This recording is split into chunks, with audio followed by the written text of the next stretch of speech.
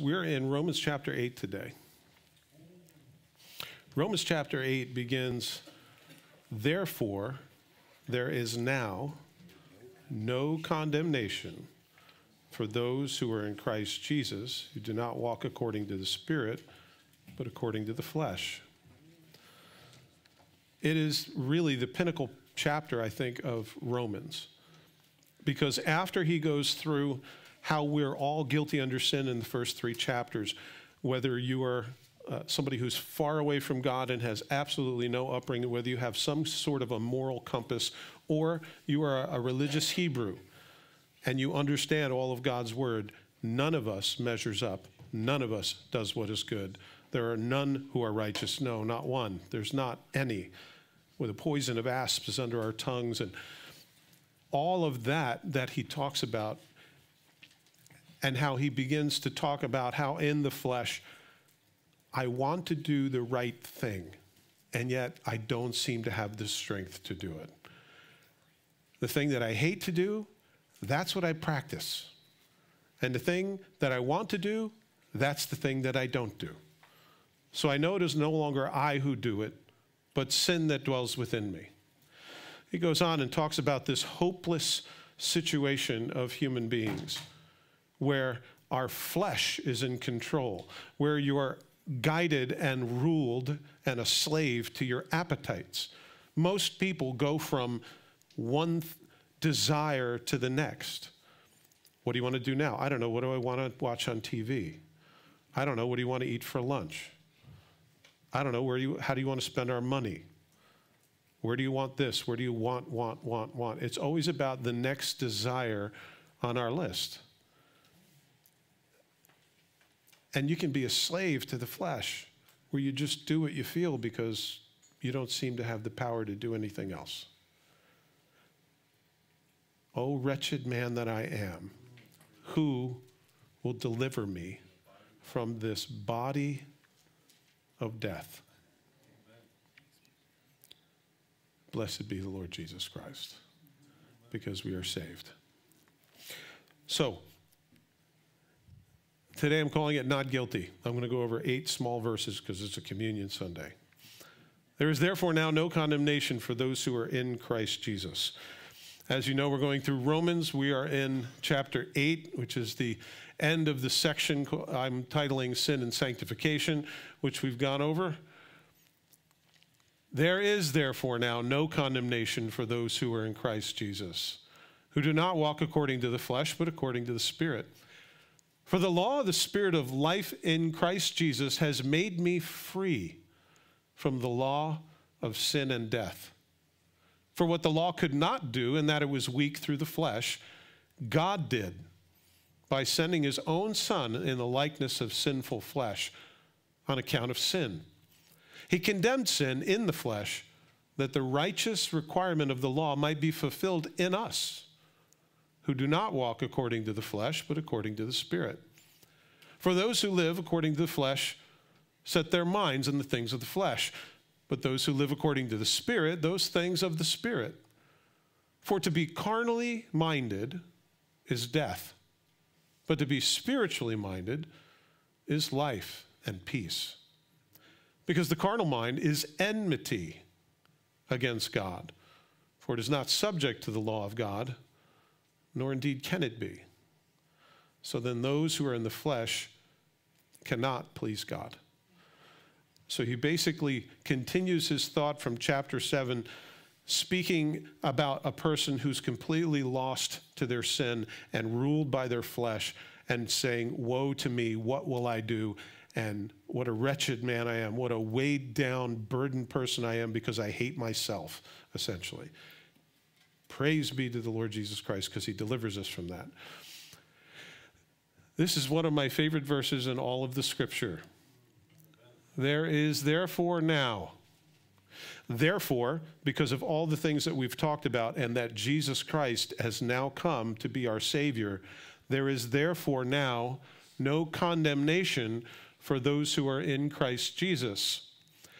And you'll notice the second half of this, who do not walk according to the flesh, but according to the Spirit.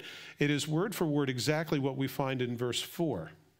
And so we have a bit of an issue. If you do some research on this, you'll find that this second half of the verse is not included in the best manuscripts. It may have been a copyist's helping along what Paul said and bringing verse 4, because it says the same thing in verse 4, so it's not wrong, but I think it's just duplicated up into verse 1. And the reason that it's important to understand that, well, if you look at the early church fathers, when they quote this passage, they don't quote the second half. And there's, trust me, I did the research. You could trust me. Because if you read this passage together with the second half, the way that it is, it seems as though there's a clause. There is therefore now no condemnation for those who are in Christ Jesus, but you better be walking by the Spirit where there is condemnation. You see, that's the implication of trying to help out God's word by bringing a verse and putting it out of context. But I think that's what's happened. So as we look at it, I'm going to address the first half of it as it is. What condemnation is, any of you know what condemnation is? Have you had a good dose of it today? You recommended daily allowance of condemnation? You're a bad person. You're wrong, evil, twisted, broken, beyond repair, hopelessly lost. That's condemnation. Do any of you recognize this? The taste in your mouth of ash? Yes. It's a declaration of evil, a, def- a, defamatory verdict, damnation, judgment rendered, punishment assigned, separation, none of which we have in Christ Jesus. And I, I talk all the time and I recycle things all the time, so please forgive me. But there is a thing called guilt, which is the number one reason for mental illness. And there's another thing called shame, which is the number one reason for suicide. They're very related. Guilt is when you feel guilty that you've done something, some infraction, you've done something wrong. That's not condemnation. Condemnation is shame. Shame is the thing about you that will never be washed away. When you feel like you can't be good enough, you can't be smart enough. You're never reaching any particular level of contentment whatsoever, and therefore you condemn yourself, much like we saw in chapter 7. Condemnation. It's what the devil does when he gets on your shoulder and tells you you're not good enough, you're not smart enough, and fill in the blank with your own personal preference of condemnation. But there is, therefore, now no condemnation. There is no judgment. There is no angry God in heaven trying to burn you with his magnifying glass or waiting to drop a lightning bolt on you. There is not God who looks down and sees you make a mistake and he goes, Oh, I can't believe it. Because you don't surprise him. He knows everything. That might be your earthly father, but it's not your heavenly father. There is therefore now no condemnation there, God is not just waiting for one more mistake. Just blow it one more time, and you're done. Any of you ever feel that way? I, I felt that way several times today with all of these things going wrong. But there is no condemnation for those who are in Christ Jesus. There is no verdict. There is no punishment. There is no purgatory.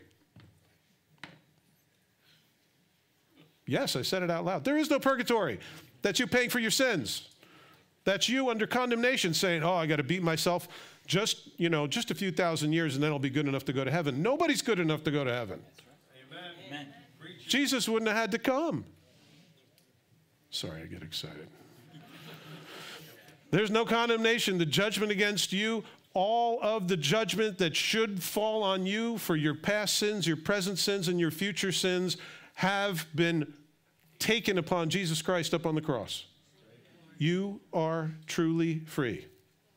There is no condemnation for those who are in Christ Jesus. Now, if you don't know Christ Jesus, yeah, you're done. You're done. You're toast. Forget about it. There is a place for you. if you're in Christ Jesus, there's no condemnation. But if you're not in Christ Jesus, there's plenty of condemnation. You're going to have to stand before God. He's going to say, Why should I let you into heaven? You say, Well, I was a good person. And then he's going to pull out the list. say, What about all this? Uh, oh, I didn't think you knew about that. I thought you were a God of grace and forgiveness, and we weren't going to talk about that. Well, if you want to stand on your own merit, we have to talk about it. And there's only one way to deal with that, and it's called eternity separated from God. But that list was hung on the cross, Amen. your list, if you are in Christ Jesus. It's important to know the difference, and it's important to relish the difference because I forget that sometimes, and the devil tells me how I'm worthless and I have absolutely no right to stand here and talk to you and say anything. Because guess what? I'm not perfect. Multiple times. There is no condemnation. Jesus in John 19 30 said, It is finished. The, the original word is tetelestai, which means the debt is paid in full. Thank you, Lord. You ever have a mortgage burning party? I've never had the privilege. I'm still paying mine off, and I, I will into my older years. But you know, uh, you know, you burn the thing. That's it. The bank has no right over you anymore. They can't repossess your home because you didn't make a payment. It is finished. That's what Jesus said on the cross. Tetelestai. The debt is paid in full. If you are in Christ Jesus, there is no condemnation for you. There's no judgment for you. There's grace. There's no mistake that you can make that can make God forsake you. It's just one of those things that rolled through my mind yesterday. There is no mistake that you can make that can make God forsake you. He said, I will never leave you or forsake you. And I'm glad. And I'm glad He knew everything I was going to do before I did it. And it was hung on His own Son, Jesus Christ. God came in the form of human flesh, took upon your sin and my sin, and died on the cross so that you wouldn't be condemned. Not just that you wouldn't be condemned ultimately before God, but that you won't be condemned now. In your mind, in your heart, as you listen to other people. I don't know about you, but I, you ever meet like very judgmental people? I hope you're not one of those people, but you know, people that are just critical about everything can't ever seem to be happy about anything. They're not content in any way, shape, or form at any given moment, no matter what. They could, they could win a $1,000 scratch off and say, oh, lost again. but see, there is no condemnation for those who are in Christ Jesus. Jesus took it all. He took it upon himself. And if you believe, it's simply for the asking, and it's simply for believing that Jesus Christ was sent for your sin and that he came to take away for your sin. And you submit your life to him and say, God, take my life. You made me for yourself, so take me for yourself. That's what it is to be in Christ Jesus. So, there's therefore now no condemnation. In 2 Corinthians 5:21 it says for he meaning God, made him, meaning Jesus, who knew no sin, to be sin for us, that we might become the righteousness of God in him. We have the opportunity to live a righteous life and tell the flesh where to go because of Jesus. And because the Spirit of God then comes in and begins to rule and reign in our lives. And we're no longer a slave to our sin, although we volunteer from time to time. Romans 8 31 to 34. We're going to get to that, I'm hoping someday. So, what then shall we say of these things? If God is for us, who can be against us? Listen, if God forgave you, who's going to hold something against you? Your friend, your neighbor, your relative, your, you know, somebody who can't forgive you, just can't forgive you for something you did. Really? Because God forgave me and punished his own son for what I did, and you can't forgive me? Sucks to be you. Because I'm not going to carry it. I'm going to bring it to the Lord and I'm going to remember that there is therefore now no condemnation for those who are in Christ Jesus. Now, if you do something wrong, you do something wrong and you make it right, but you don't carry it. Amen. And certainly you shouldn't carry it for anyone else, especially if they have come to know Jesus Christ. So, what are we going to say? If God is for us, who can be against us? He who did not spare his own son, but delivered him up for us all, how shall he not with him also freely give us all things? It's too hard to believe. Who shall bring a charge against God's elect? Well, since there's no condemnation, then nobody. It is God who justifies. Who is he who condemns? It is Christ who died, and furthermore, he's been risen, who is even at the right hand of God, who also makes intercession for us. So if you thought that his once and done sacrifice for all of your sins wasn't enough, he's still interceding for you on a regular basis. I don't know about you, but I need that. I need constant supervision and intercession. Hebrews 10 22 to 23 says, Let us draw near with a true heart and full assurance of faith, having our hearts sprinkled from an evil conscience. That's the condemnation and our bodies washed with pure water. That's the symbol of the Holy Spirit. Let us hold fast to the confession of our hope without wavering, for he who promised is faithful.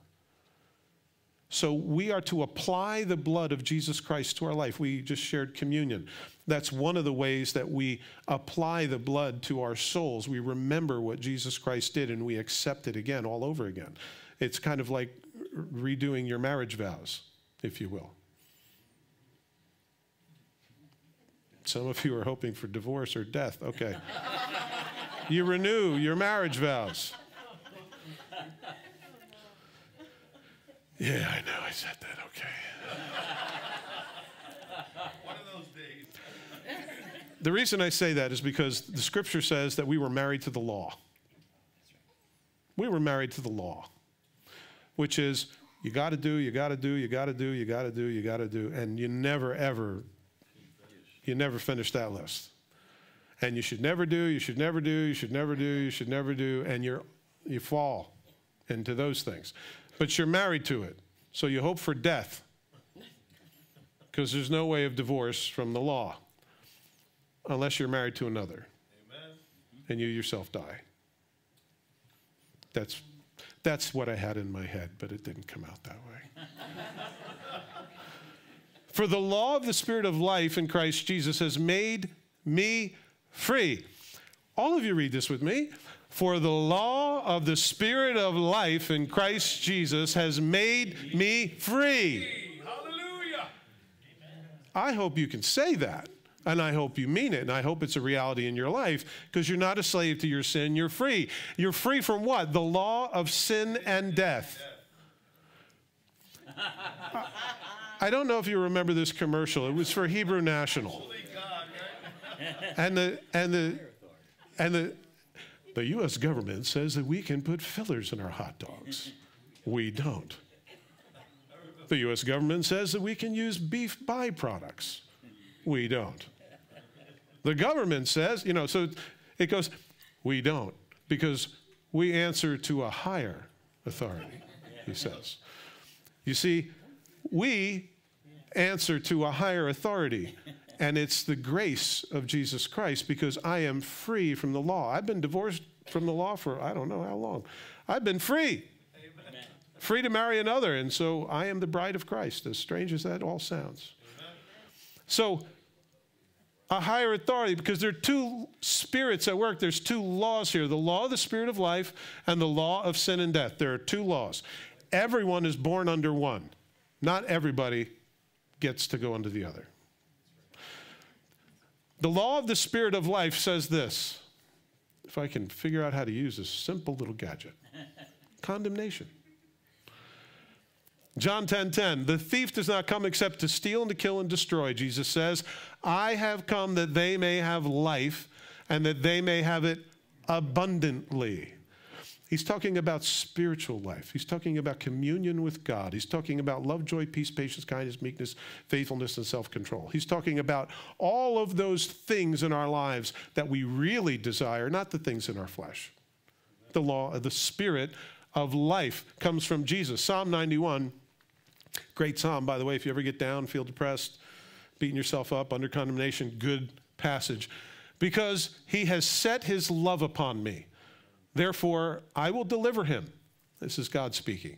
I will set him on high because he has known my name. He shall call upon me and I will answer him. I will be with him in trouble. I will deliver and honor him. With long life, I will satisfy him and show him my salvation. That is the law of the Spirit of life. 1 John 1 9. If we confess our sins, he's faithful and just to forgive us our sins and to cleanse us from all unrighteousness. This is the law of the Spirit of life. You have a Savior, the Messiah, who came and died for your sins so that you might be forgiven and live free. Amen. The Spirit of God sets us free, and if He sets you free, you're free indeed. Then there's the other law of sin and death. And you go, what's the law of sin and death? I don't think I ever read that anywhere. Romans chapter 7, we just went through. For we know that the law is spiritual, but I am carnal, sold under sin. And in the flesh, you are sold under sin. You were sold out. Adam, bombed out. It was the atom bomb in Genesis. sold under sin. He sold you out.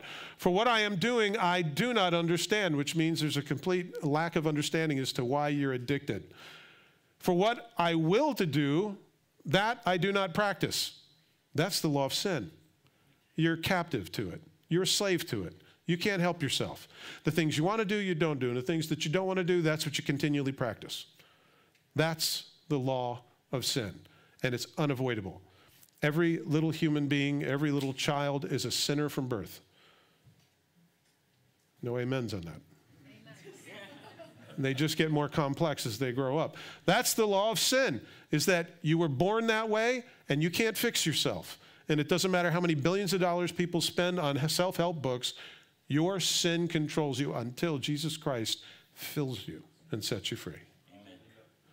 That's the law of sin and death. The law of death is found in Ezekiel 18:4 and verse 20.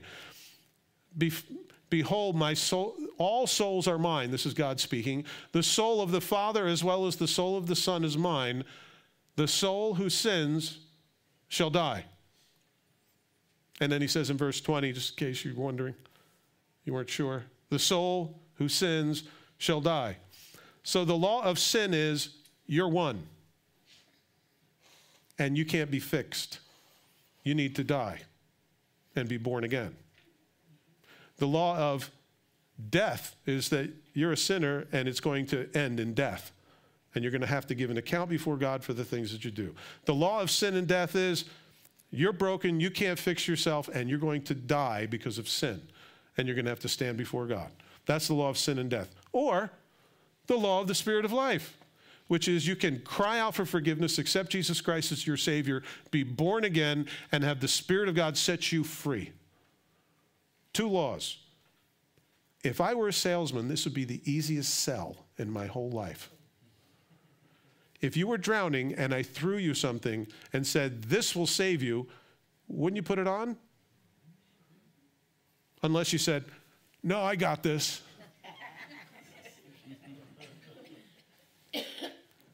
Three hours later, can I throw you a, a life preserver? No, I think I can hold out a little longer.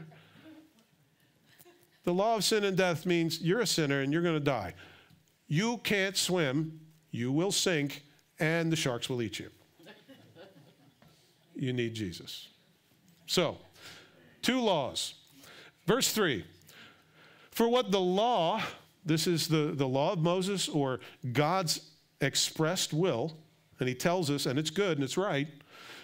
For what the law could not do in that it was weak through the flesh, God did by sending his own son in the likeness of sinful flesh. Notice he wasn't in sinful flesh, he came in the likeness of sinful flesh. He looked like you and me, but he wasn't a sinner. That's why the virgin birth. On account of sin, he condemned sin in the flesh that the righteous requirement of the law might be fulfilled in us. Notice that the righteous requirements of the law are not fulfilled by us, they're fulfilled in us. Who do not walk according to the flesh, but according to the Spirit. So here comes God's law. Can you imagine being the people of Israel, being out of slavery and going out into the wilderness and finally being free and having all of the trouble behind you? And you come before Mount Sinai and it's on fire and there's clouds and there's lightning and there's shaking, there's an earthquake, and the people go, Oh, I don't want to go talk to God. I got some things I got to deal with. Moses, why don't you go? Why don't you go and then tell us what he says? That's what he does. And he comes down with Ten Commandments and they're in the middle of a wild orgy. He loses his temper and breaks the commandments. All of them, physically. The law came and we couldn't keep it. The law came, if you just take the Ten Commandments, for instance, and you can't do it. You can't have any other God before God. I mean, you can't put other things before God. My goodness, you get out of bed and you go, ah, my back hurts today. I don't think I'm going to church. I'm just trying to be honest. I said that. It's a beautiful day outside, but I have to stay here and do the message. you don't think I struggle with things. You're funny. the law comes and we don't measure up to it. What the law could not do, God did by sending his own son. Because, see, the law doesn't make you right. Just because you know the law, just because you could recite the law, just because you haven't memorized 1 through 10, doesn't mean you do it, right? Good. But he did by sending his own son that Jesus showed us how to live the life and how to be obedient. 1 John 4 9 says, In this the love of God was manifest toward us, that God has sent his only begotten Son into the world that we might live through him. Jesus came to break the law in the way that it no longer has power over you in condemnation. He fulfilled the law and he gives you that fulfillment so that the righteous life that he would have us live, we could finally live. We have the ability to now. 2 Corinthians 5:15 says, "And he died for all that those who live should live no longer for themselves." If you're a Christian, you don't live for yourself anymore. Did you know that? You're dead to yourself. But for him who died for them and rose again. See, that's the exchange. I accept the life of Jesus Christ into my life. I die to myself. That's the great exchange that we make with him.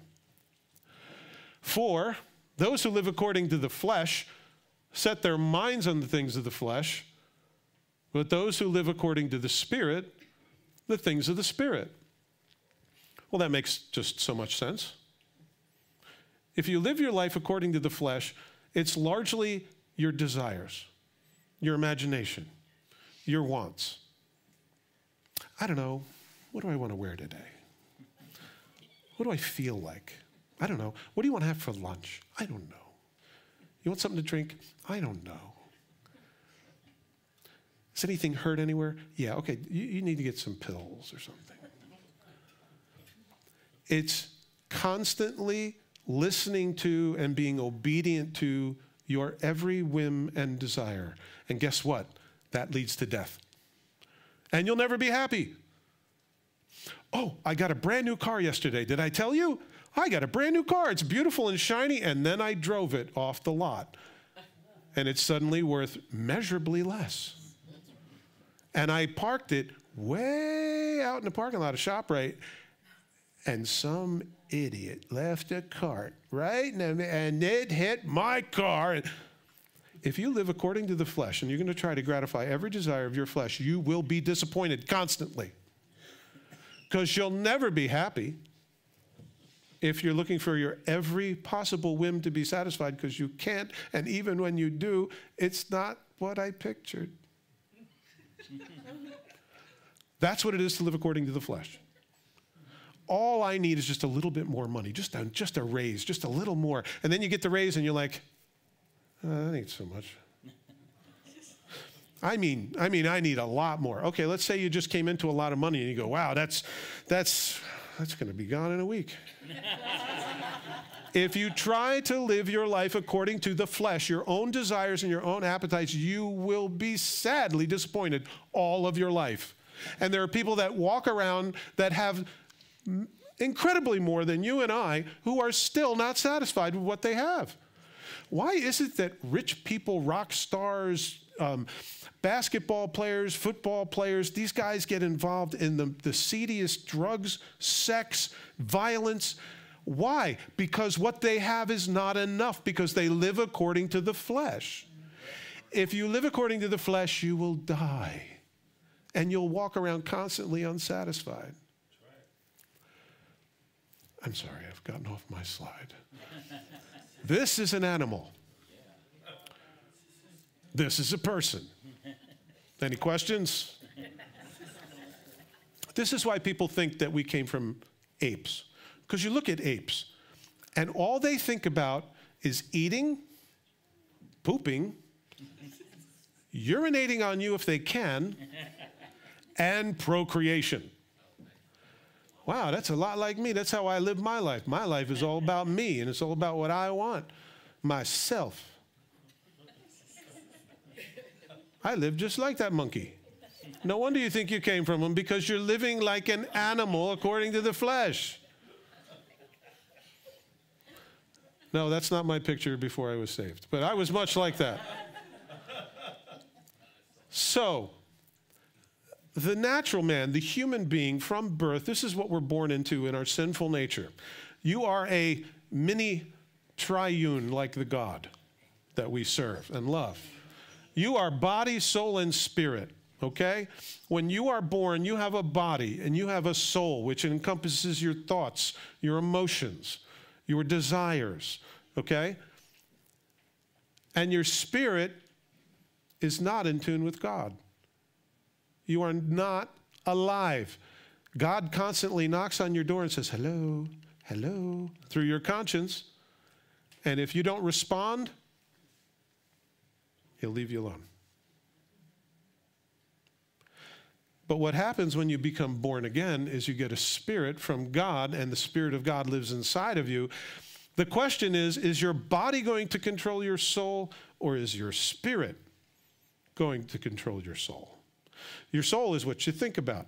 Does the Spirit of God control what you think about? Does He control your appetites? Does he control your imagination? That's what it is to be ruled by the Spirit. Is the Spirit of God is the one that controls my soul, my mind, my heart, and even my body comes into compliance because the Spirit's on top. My soul is the one that makes the decision all the time, but without the Spirit of God and without living according to the Spirit, you have the body in control. And the body tells you what you're going to do and where you're going to go and whether somebody's going to get a smack because they deserve it. Your body's in control. And you give that over to them. To, to uh, people give themselves over to their body. So you can live like an animal or you can live like somebody who's been born again and has the Spirit of God inside of them. You're either led by the Spirit or you're led by the flesh. Now, I'm here to give you the sad news that on occasion, People who have the Spirit of God and have been born again live in the flesh. It will be the most miserable life that you could live because your body will never be happy. You will never be satisfied because you don't have fellowship with God. And you've been ruined for this world. When I first became a Christian, I still did a lot of stupid things. And those stupid things didn't bring me joy anymore. And I was mad at God. He was a party pooper. He pooped on my party. Getting high didn't make me high anymore. It made me stupid and lethargic, and I had to wait for it to wear off. Doing speed just made me scatterbrained. Doing all of those things that I still did. And I, you know what? I didn't know any better, and I was still doing stupid things. Ultra stupid things. I still do stupid things, but those were ultra stupid things. Then the Spirit of God led me to a Bible study where I started reading the Word of God and I started understanding and I had fellowship and I understood the Word of God. And I, and I blossomed because I was not the same old person that I once was. I pray that you have that experience because you're no longer an animal. You're now a child of God, ruled by the Spirit, not the flesh. Amen. For the car- carnally minded is death, but to be spiritually minded is life and peace. To be carnally minded, it doesn't mean that you order meat on the Italian menu. Carne on the Italian menu is meat, okay? And it's, it's aptly used here. Meat. Uh, my buddy Dino's nodding and said, Yeah, carne. For to be carnally minded is death. If you've got your mind on the flesh, if you have it upon your desires and how you feel today, whether you're going to go outside or not go outside or see somebody or do something that you know God would have you do, but I, I don't know, don't feel comfortable. You're ruled by the flesh. Oh, but my hair looks terrible. You know, I didn't even comb my hair today. I realized it when I went in the bathroom, washed my hands, and went, dude, you didn't even comb your hair. And I said, there is now, therefore, no condemnation for those who are in Christ Jesus. And I walked on. Because my body doesn't rule me, and, you know, Amen. God sees me naked anyway, and He's okay. to be carnally minded is death, but to be spiritually minded is life and peace. Boys and girls, this is a matter of life or death. It is death to be carnally minded. And what that leads to is everything in Galatians 5 19 to 21 drunkenness, envy, dis- dissensions, outbursts of wrath, contention, sorcery, licentiousness, that looks like a you, adultery, fornication, uncleanness, adultery, idolatry, hatred, jealousies, selfish ambitions, heresies, murders, and revelries. All of these things come out of a sinful heart and if you're given over to these things without being born again, then you are lost. Your brain is stuck and you can't get out. You have no choice. You're a slave to sin like that baboon. On the other hand, to be spiritually minded is life and peace. Good news. You don't have to live that way, ruled by the flesh. Your body doesn't have to tell you what to do. Your imagination doesn't need to send you down the road to hell. You can be redeemed by the Spirit of God if you die to yourself and live to Him. If you're in Christ Jesus, then there's no condemnation. And then you can have the fruit of the Spirit, which is love, joy, patience, peace, patience. Love, joy, peace, patience, kindness, goodness, faithfulness, gentleness, and self control. Those are the things that will naturally come out of somebody who's been born again. It won't be something that you have to like force to do. It's one of those things that will come naturally as you grow in the Lord Jesus Christ. It's the fruit that grows in a believer's life. Because the carnal mind is enmity against God. Fight the power. That's what it is. It's rebellion against God. For it is not subject to the law of God, nor indeed can it be. That's a really scary statement. People cannot submit themselves to God who have not submitted themselves to God. And they are a slave to their feelings. They're a slave to their feelings. So when you see riots in the street and cars overturned and people beating up one another, don't think it's strange. They can't do any better than that. You can't rehabilitate a heart, only God can. Don't be surprised when police are killed.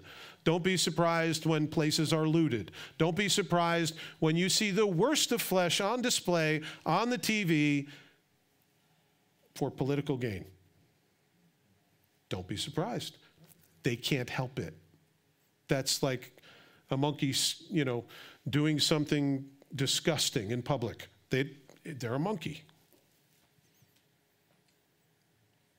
They cannot submit themselves to the law of God.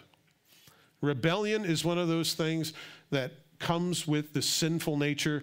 And even though the Lord comes and He makes us born again, we still will be trying to undo the software package that we've been given, still trying to undo the programming. That's why I need constant reboots with, with the Lord. And of course, there's nobody who does rebellion like Bart Simpson. Standing under a no loitering sign, that's That's right. That's right. No loitering. I'm loitering. I even got a friend here that's going to loiter with me. He's the picture of absolute rebellion and loved by so many because if it's wrong, that's what he wants to do. He's the picture of every human being, and that's why everybody kind of identifies with him. Not subject to the law of God, nor can they be. So then, those who are in the flesh cannot please God. If somebody doesn't know the Lord Jesus Christ in a relational fashion, if they haven't received the Spirit of God, don't expect them to do well because they are morally bankrupt. Spiritually, they're homeless. They have no ability to get up and go and do anything on their own. They don't have the financial backing to do so. Uh, they, don't, they don't have the clothes to go on an interview. They don't, you know, spiritually speaking, don't require everyone who happens to be in your space to clean up. They can't. That's like, I, I, I spent the other day helping a neighbor move, and every other word was, it, it was, yeah, it began with the letter F. And, and a, a couple S's and some other, you know, there's a, and it was every other word. And it was like, and he, he has no problem speaking that way in front of my grandchildren. He can't help being a sinner. Am I going to require everybody around me to clean up when they have no capability of obeying the law of God? Shouldn't I be concerned for their soul when I hear that kind of thing instead of being grieved about their words? The answer is yes. And so I had to wrestle with all that, and then I finally said, I need to just love this guy in the midst of his foulness because he needs Jesus. And that's the cure, not cleaning up your, your language. So, moral bankruptcy. Jesus said this in John chapter 3. Jesus answered and said to this guy, Nicodemus, he came to him at night, said, We know that you're a teacher that's come from God because nobody could do the miracles that you do unless he were from God. And Jesus said to him, Most assuredly, I say to you, unless one is born again, he cannot see the kingdom of God. And Nicodemus said to him, How can a man be born when he's old? Can he enter a second time into his mother's womb and be born? And Jesus answered, Most assuredly, I say to you, unless one is born of water, by the way, that's natural birth, and of the Spirit, he cannot enter the kingdom of God. That which is born of flesh, is flesh, that's natural birth. And that which is born of spirit, capital S, the Spirit of God, is spirit. Don't marvel that I say to you, you must be born again. Don't get shaken up by the term. And by the way, it was Jesus' term long before it was the born again Christian's term. Are you one of them born again Christians? I didn't know there was any other kind. what do you mean? Jesus said, You have to be born again, or you won't see the kingdom of God. Is there another kind of Christian? Well, I'm kind of a Christian, but I'm not born again. Well, Jesus said you need to be born again. It's right here. It's not my term. I'm pulling it from the scripture. That which is born of flesh is flesh. That which is born of the Spirit is spirit. Do not marvel that I say to you, you must be born again. The wind blows where it wishes. You hear the sound of it, but you can't tell where it's come from or where it goes. It's, he's saying, like the wind, the Spirit of God comes in a way that you can't see and you can't quite nail down, just like the wind. You can't see the wind, but you can see what the wind does. You can see the leaves blow. You can see, you know, all of that, but you can't see the wind. God's like that. He's unseen, but you'll see the reactions of what he does. So is everyone who was born of the Spirit. Nicodemus answered and said to him, How can these things be? You get the idea he was completely unaware of this. Jesus answered and said to him, Are you the teacher of Israel? and you do not know these things? Jesus said, You don't have a relationship with your heavenly Father. You have a relationship with the law. Do you know what that means? You fail, you die. That's the law of death, right? You die because you're a soul that sins. And the law of sin means you're a slave to it. And without a relationship, you've got no hope of overcoming it. And then he says in John 3 14 to 16, and Mo- as Moses lifted up the serpent in the wilderness, even so must the Son of Man be lifted up, that whoever believes in him should not perish, but have everlasting life. Moses lifted up this bronze serpent. Bronze is always a picture of sin because it's mixed metal. And made this serpent. And if they looked to the serpent, they were saved from the bites of the vipers. Jesus says, I'm like a snake. I'm like a dirty bronze snake up on a pole. That's what he was. He who knew no sin became sin for us, that by that we might become the righteousness of God. And he says, even as they looked to the serpent in the wilderness, and so they were saved from the bites and didn't die, so the Son of Man must be lifted up, and he was lifted up on a pole. He was lifted up on a cross. And then he says, For God so loved the world that he gave his only begotten Son, that whoever believes in him should not perish, but have everlasting life.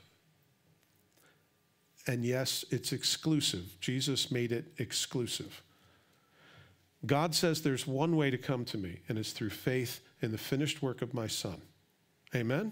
Amen. That was me trying to keep it short because it's Communion Sunday. We've gotten through eight verses. I hope you guys are blessed and you remember that there is now, therefore, no condemnation for those who are in Christ Jesus. If you are in Christ Jesus, there's no condemnation for you because it went on his son. If it didn't go on his son, then you have to stand before God on your own.